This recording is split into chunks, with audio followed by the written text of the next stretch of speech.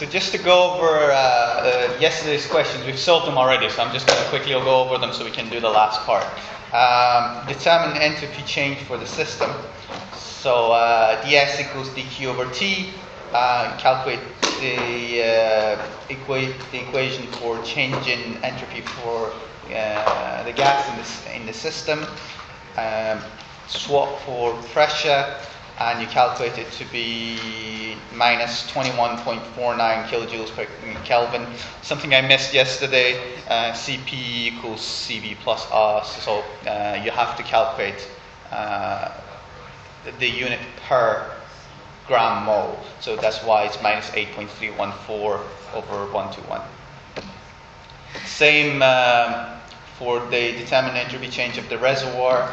Um, same steps, uh, replacing for temperature. This is for reservoir, and your answer is 84 kilojoules per Kelvin. So, is the overall process reversible or irreversible? This is people have people done that? Do you want to do that quickly? Yes.